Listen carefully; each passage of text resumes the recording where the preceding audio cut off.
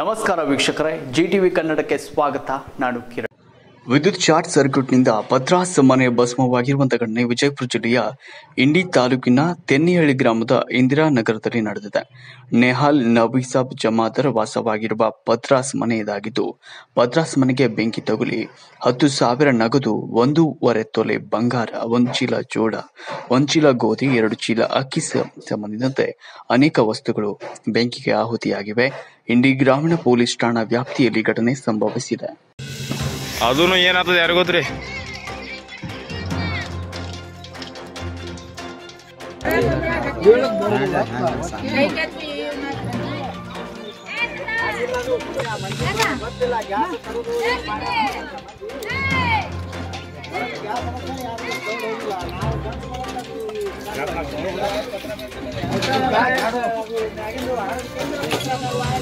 आग लगी देखा तू इसके मोबाइल में तो डाउनलोड है